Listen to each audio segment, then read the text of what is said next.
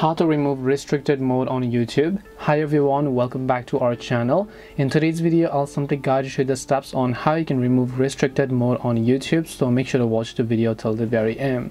Now sometimes whenever you have the YouTube application installed, you could only have some of the limited videos because you have restricted mode enabled.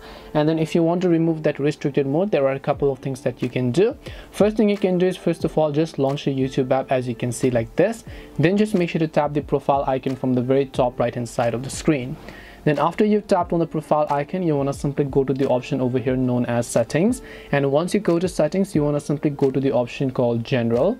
As you go to general you want to scroll down over here you'll find this option called restricted mode. If this is turned on it means that restricted mode is enabled so you want to make sure to simply turn this thing off now after you've done this restricted mode will be removed. But another thing is that if you're still not getting sensitive contents and if you still want to enable more contents it could be that the problem is with the age or the birthday of your youtube or google account. So to change that tap the youtube profile from the top right hand side.